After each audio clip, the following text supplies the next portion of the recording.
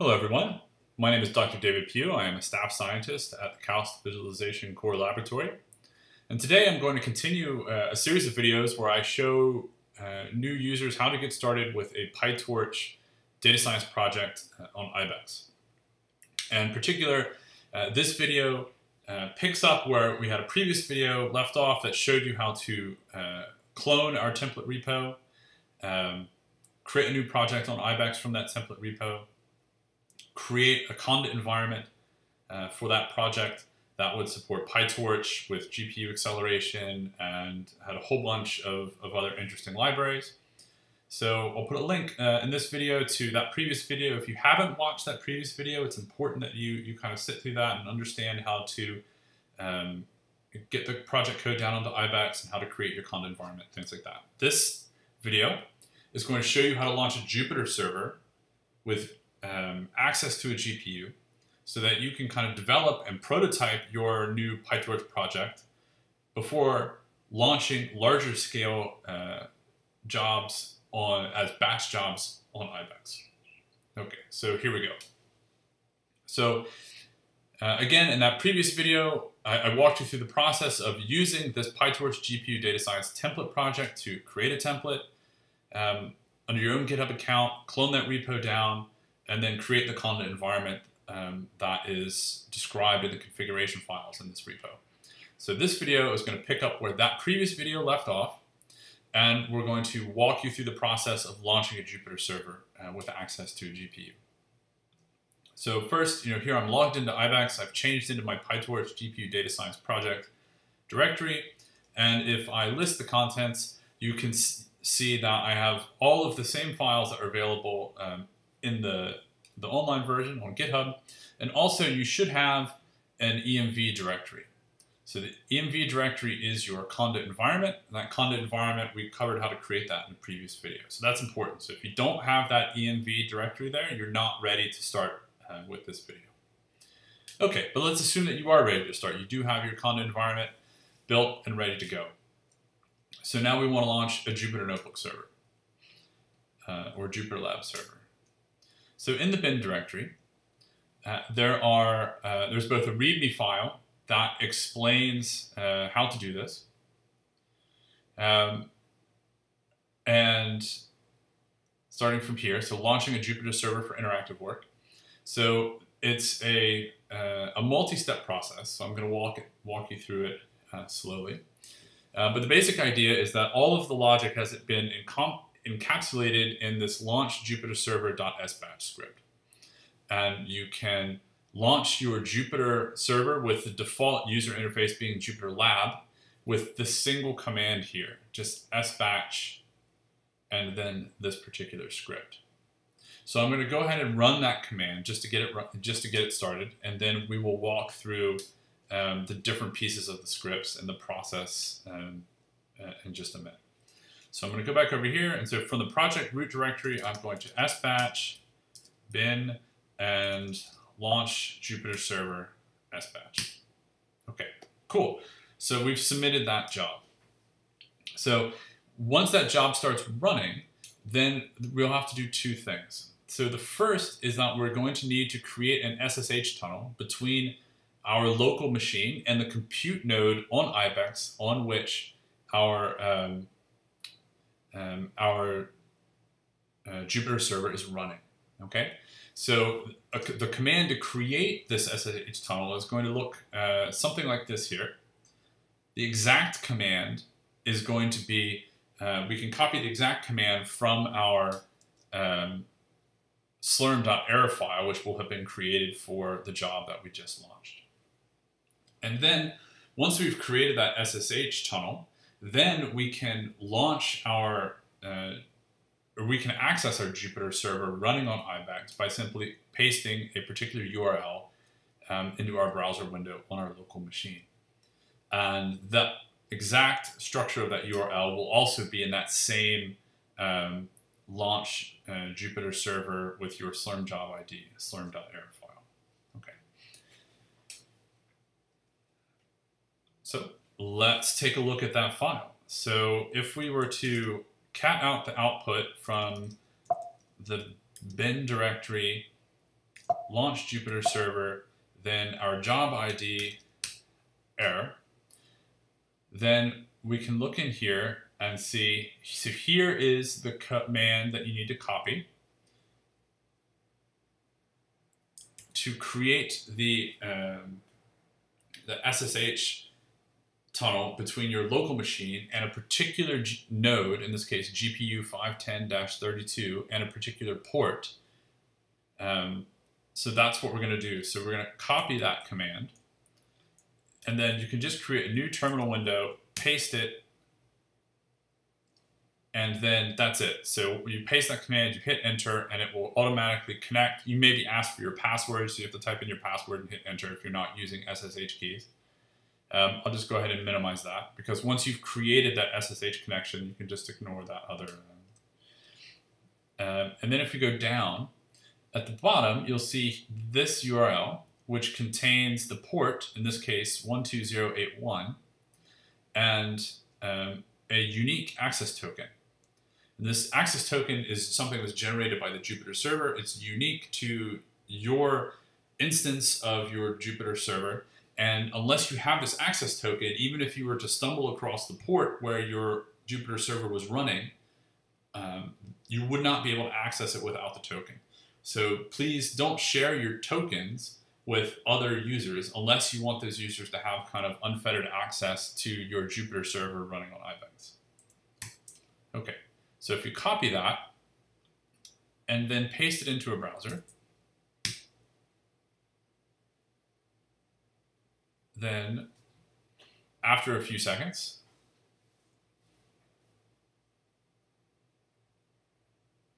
voila, there you are. You have a Jupyter Lab server that's running on IBEX. Um, you can now do any development work, work that you wish to do.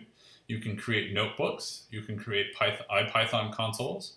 You can create terminal windows, which you can then use to launch batch jobs um, on IBEX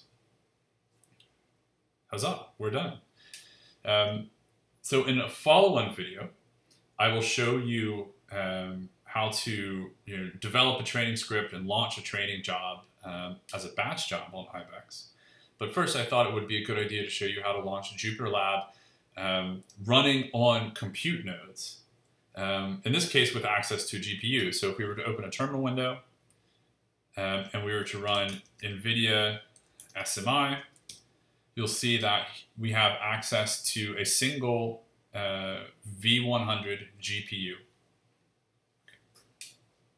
Okay, now I'm going to go ahead and shut down this, um, this Jupyter server. Uh, so I'll do File and Shut Down, Shut Down.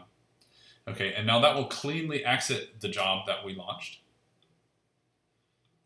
So if we go back here and we do uh,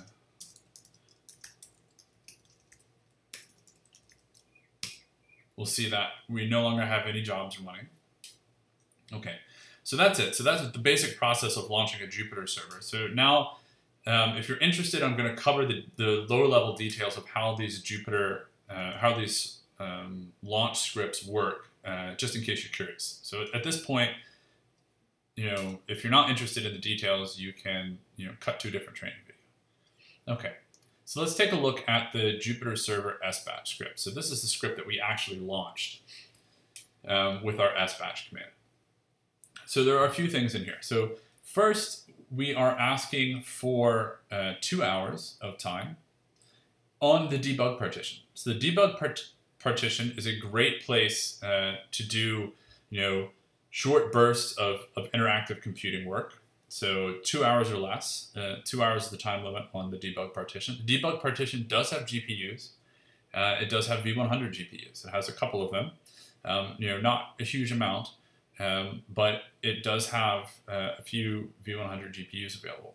So in this case, I have actually asked for um, a single node, a single V100 GPU on that node, six CPUs per GPU, and uh, 64 gigs of CPU memory to go along with the 32 gigs of GPU memory that will uh, that we have with our V100 GPU.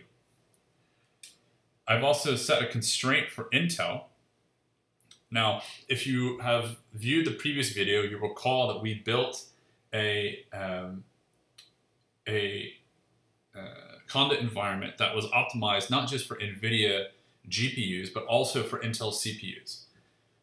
Now, at the time of making this video, this constraint is, um, is, um, is not entirely necessary because all of our GPUs are installed on Intel CPU nodes. So anytime you ask for a GPU, you're automatically going to end up on an Intel node um, in any case. Um, but I like to be very explicit with my Slurm scripts so that I know exactly what it what resources I'm requesting. So I've gone ahead and left this constraint uh, this constraint in here. Um, the six CPUs per GPU. So six is the um, the uh, fair share amount of CPUs per GPU for our uh, V100 nodes. So each of our V100 nodes has uh, typically eight V100s and 48 CPUs. So uh, 48 divided by 8 is about 6 CPUs per GPU. So I tend to ask for 6 CPUs per GPU. Um, with memory, I tend to ask at, for a minimum of two times the, the GPU memory. So when I'm working with V100s, I'll ask for at least 64 gigs of memory. Um, the most I would ask for is um, 90 gigs of memory per GPU, or 92 gigs of memory per GPU. Um, and again, that's the kind of proportional fair share amount of memory available on the node per GPU. Um, and that will help um, keep job throughput high on IBEX if everyone is requesting these kind of fair share proportional resources. Um, but in any case, this is quite a lot of, of resources for interactive work. And again, on the debug partition, you can ask for up to two hours. Uh, if you want more than that, then you'll have to launch on the actual batch partition. Um, but at least in my case, I tend to always launch on the debug partition because two hours is about as much time as I can, you know, work in a focused way, and then I'm ready for a break. So I'll log out. I'll start a new job later. Um, okay, so this sbatch script actually just wraps a uh, bin slash launch Jupyter server s run script. And the reason that I have set the scripts up this way is I need to make sure that there's not going to be any contention for the ports on which um, the Jupyter servers are running. So by default, a Jupyter server will run on port 8888. But on a shared system like IBEX, if everyone tries to launch their, their Jupyter servers on that port, there's going to be contention and there will be um, race conditions and errors and things like that. So I find it um, better to use srun from within an sbatch script so that I can reserve a port via Slurm and give that unique port where there's no one currently uh, using that port to the Jupyter server. So now if we were to go and look at that launch Jupyter server.srun script, you'll see that in this srun script, um, I set up the conda environment. Okay. And if you remember, it's important when you ever you need to use a conda activate command in your script, uh, you need to make sure that that script is running in a login shell. And uh, so you just put this bin bash login at the top of your script, and that will enable the conda activate command in that script. And then the rest of this is just basically collecting the information that you need to set up the port forwarding command. Um, and then actually launch the Jupyter server itself on the compute node. Okay.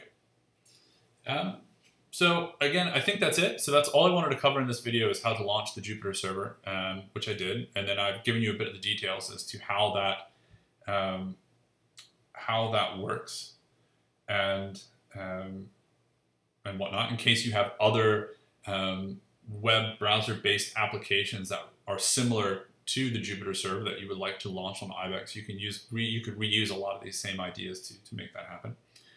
Um, in a follow-on video, I will explain how to launch a PyTorch training job.